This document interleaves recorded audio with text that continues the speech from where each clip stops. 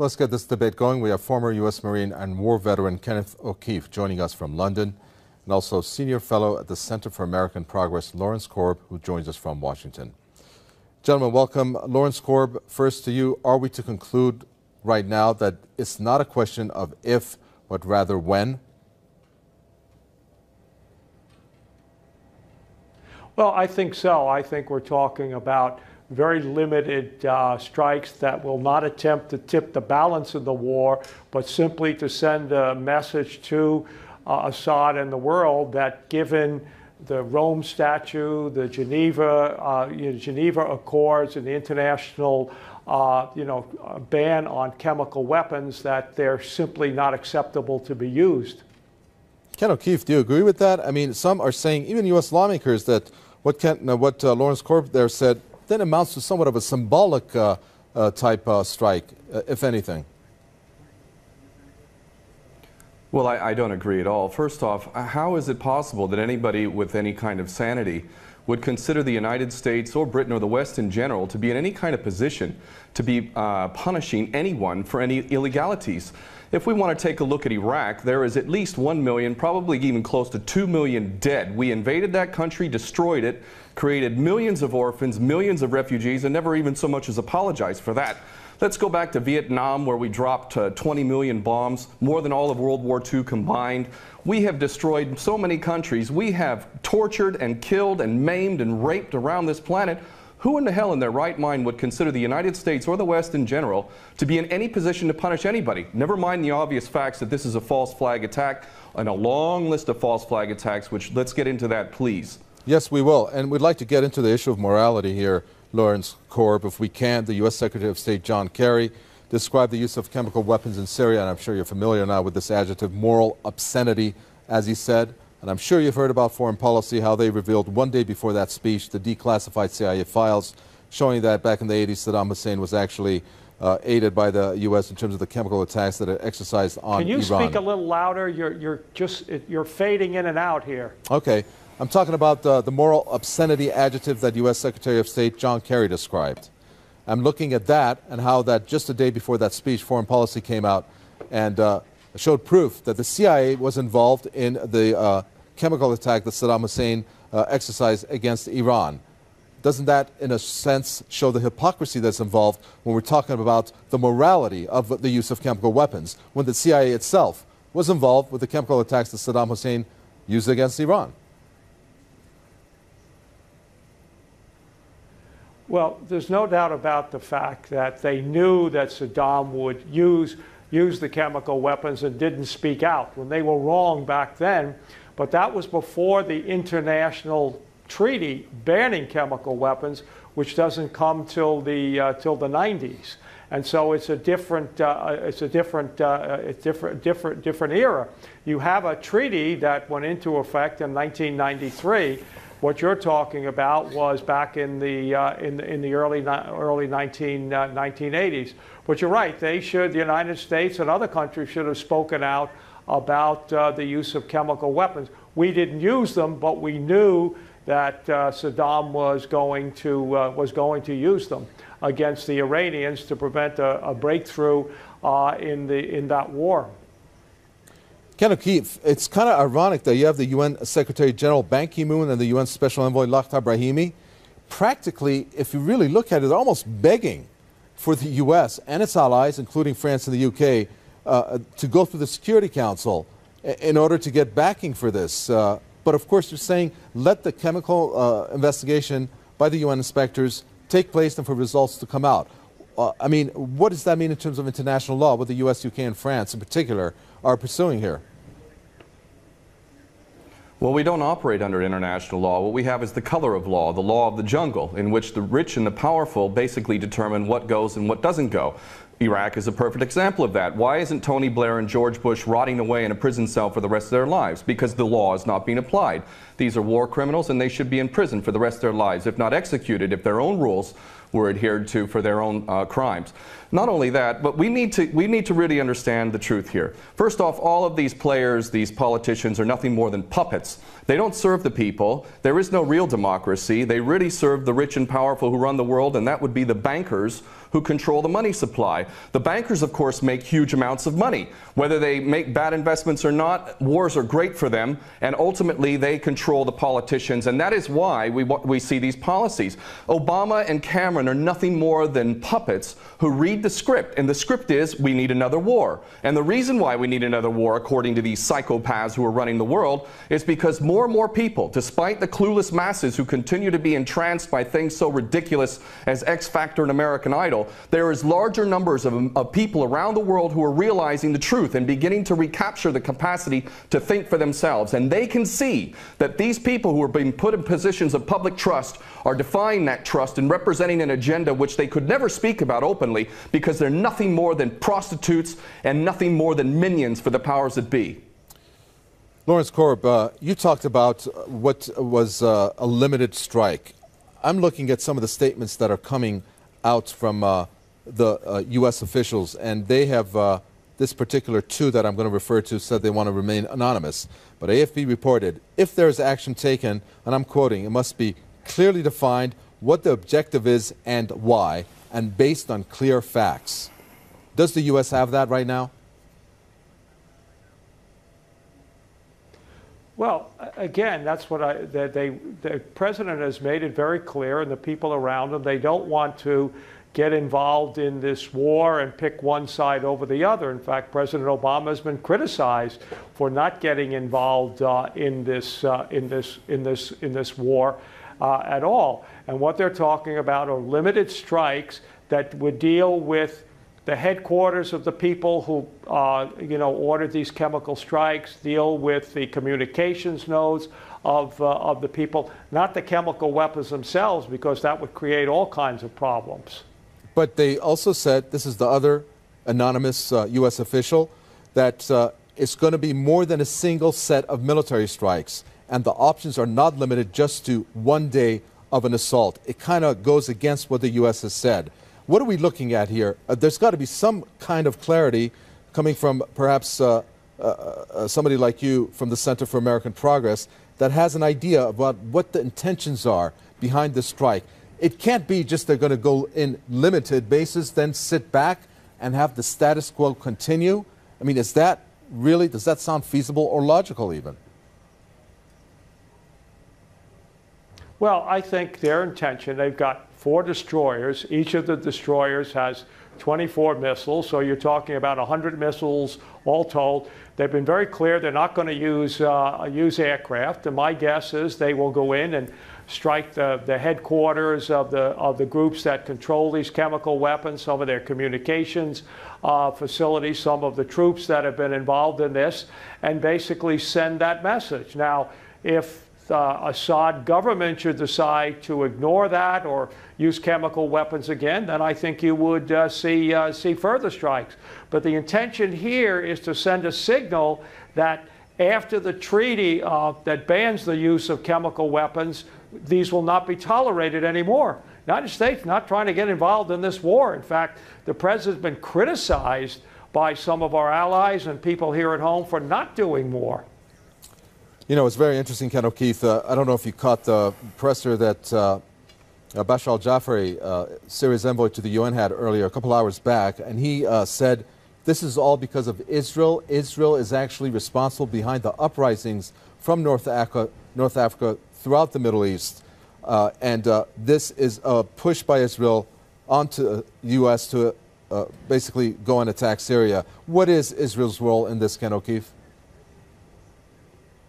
Well, the Greater Israel Project is all about uh, destabilizing uh, surrounding nations, ultimately in pursuit of this dream of Greater Israel from the Euphrates down to the Nile, all the way over to the eastern Mediterranean. This is the dream of these psychopaths, and so destabilizing governments, creating sectarian strife is all part of that menu and all part of the design to create Greater Israel. So that, that, that goes uh, self-evident. But I have to go back to what this gentleman is saying in Washington, D.C. about America not wanting to get involved or Obama not getting involved. What are you talking about?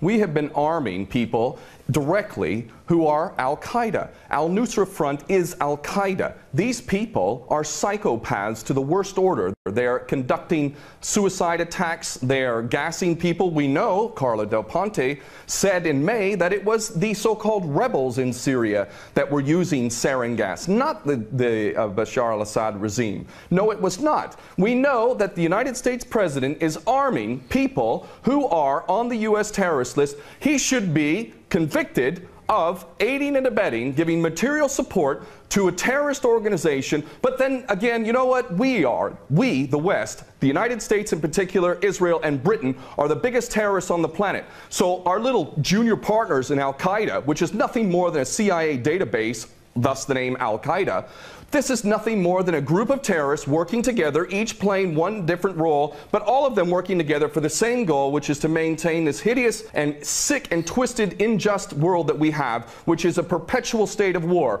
Always one illusion, one boogeyman after another. But the fact is, Obama is nothing more than a puppet war criminal, just like his predecessor and every other U.S. president before him. So please don't tell people out there that the U.S. is not involved. It's directly involved, and it is arming people who are absolute psychopaths.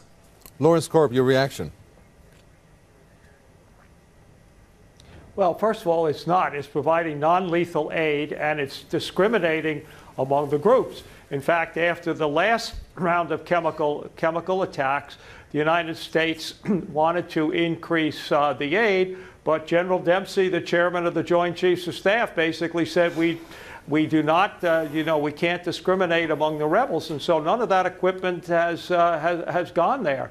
So this idea that somehow, and remember, this was started in Syria, like in Tunisia, by people who are concerned about the fact that uh, you had an authoritarian government that was basically not giving people all the rights and freedoms that people, uh, you know, people deserve. We had nothing to do with uh, st starting that. From the point of view of the United States and Israel before all of this, we were very content with the world the way that it was. Senator, uh, then Senator Kerry, now Secretary Kerry, actually went and visited Assad back in 2006, uh, you know, to try and reestablish relations. So we were not, did not start this, did not want this to happen. But once it did, and the Assad regime cracked down on these people mercilessly, the international community began, and it's not just the United States. The Arab League, for example, is very, very concerned. The United Arab Emirates concerned. They're providing much more equipment than we are providing uh, to those uh, to those to those people. We want to see, and again President Obama, about a year ago, his only statement was that using chemical weapons, because we know that Syria had them, will be crossing a red line. And they've obviously done that. Now, they're going to present their information here in the next day or so before they take military action. And then I suggest that all of the people who are claiming that it wasn't Assad sit back and take a look and find out exactly uh, you know, what happened. If the Assad regime had not uh, been involved in this, why wouldn't they let the UN inspectors in right away to ascertain? They wouldn't. They waited till four or five days until the place got cleaned up. They didn't wait four or five days. Uh, that was clear of what happened. Uh, they had to get together uh, a safety precautionary measures for the sites to be visited. Ken O'Keefe, there is this uh, uh, defense that the Syrian government is aptly uh, presenting. Walid al-Muallim did that yesterday, and then we had Bashar al-Jafari today talk about how they've allowed the inspectors to go in. But it seems, and why is that? I, and I'm thinking further, Ken O'Keefe, don't they have intelligence? Doesn't the United States already know who is behind this? It's obvious it's not the Syrian government. Uh, Nanos has said two possibilities. One, uh, obviously, being the insurgents who have done this, and at a very low scale, perhaps, maybe uh, some uh, uh, low ranking soldiers of the Syrian army, not uh, carrying through orders of not using chemical weapons, but going out on their own, which they've said is a very small possibility of that. Why doesn't the U.S. want to wait, along with its allies, for the chemical, for the inspectors to analyze what has come out and then make an announcement based on that before they move in or attack? Because the United States, the United States has never been interested in anything. Ken O'Keefe, go ahead. Has never been interested in anything other than war. The United States is in a perpetual state of war because the bankers control the politicians and they read the script as given to them by the banksters and they make huge amounts of money off of this. What this gentleman is saying about the United States not wanting war, not wanting to get involved is like Iraq 2.0. It's a repeat of the same rubbish that was said, oh, we don't want war, uh, you know, war is a last resort. That's absolutely untrue. It's a lie. Those that are in government are nothing more than prostitutes who are carrying out the orders of those who are in charge of them, and those that are in charge want another war. And part of that is what we discussed earlier, the Greater Israel Project, to destabilize any Arab regime which might have any kind of autonomy and self-determination. Any regime in the Arab world that is not an absolute puppet cannot be tolerated. And who are the nations that we target? Those that are not puppets. We don't target those like the Saudi regime, which is the biggest human rights violator in that region it's cutting off people's heads in public, cutting off hands. It is the most grotesque regime on the planet, and yet we give that regime weapons, and it's no problem whatsoever.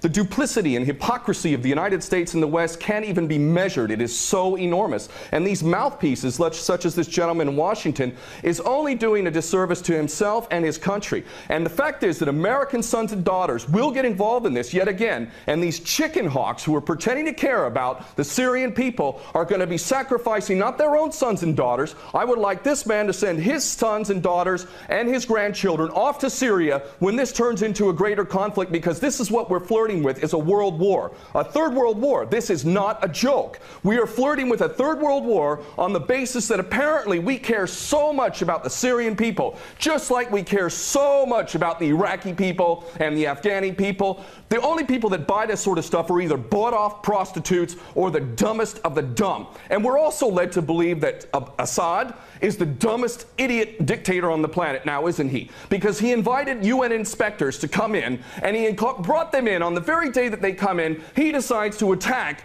his own people 10 miles away from where the inspectors arrive. This is beyond ridiculous. And the only people that buy this, again, are bought off prostitutes or the dumbest of the dumb. Uh, moving on to another statement, since we're running, uh, running out of time quickly, Lawrence Korb, it was interesting when Jay Carney said that this operation is not going to be about regime change in Syria. Don't you find that to be a bit odd? I mean, uh, talk about regime change all along and then him saying that. Uh, that has a lot of weight to it. Tell us your reaction when you heard that.